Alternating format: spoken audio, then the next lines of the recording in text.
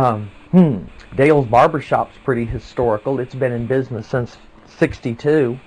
Um, the webs or the Route 66 drive-in is still there. Did you guys find that as you came in?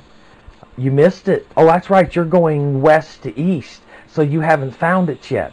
There's still a drive-in movie theater, and it's showing pictures tonight too. It's the it's the 66 drive-in, and as you head north or head yeah, northeast out of Webb City toward Carthage, keep your eyes open on the right-hand side and take the Brooklyn Heights exit of the highway, and you'll drive right in front of the old Route 66 drive-in movie theater that's been a part of the history of this area for, well, ever since I was a child.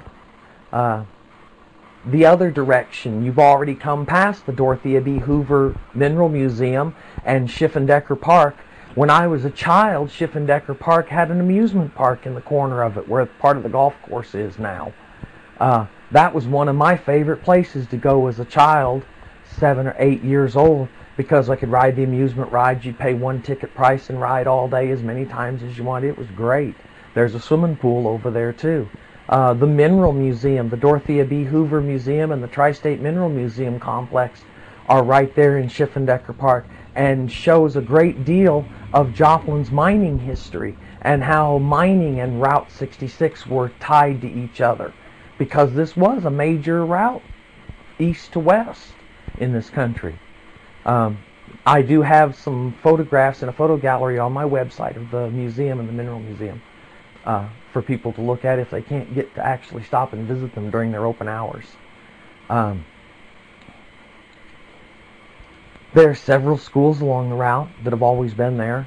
Uh, it was, in its day, it was more the little businesses that were here. There was another mom and pop grocery store down on 2nd Street as you got towards Schifferdecker, but that one's been gone for years.